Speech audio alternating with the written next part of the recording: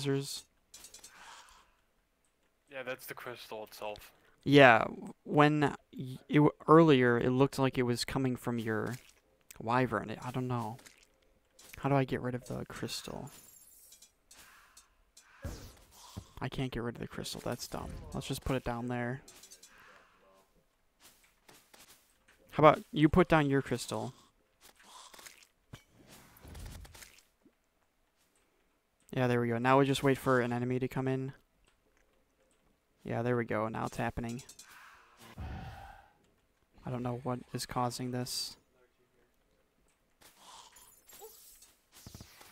Okay, the melee one is right next